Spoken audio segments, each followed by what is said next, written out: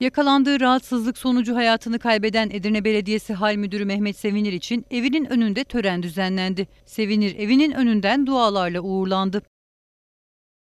Edirne Belediyesi Hal Müdürü Mehmet Sevinir ikindi namazına mütakip Tarlakapı Süreç Çelebi Camii'nde kılınan cenaze namazının ardından Buçuktepe mezarlığına defnedildi.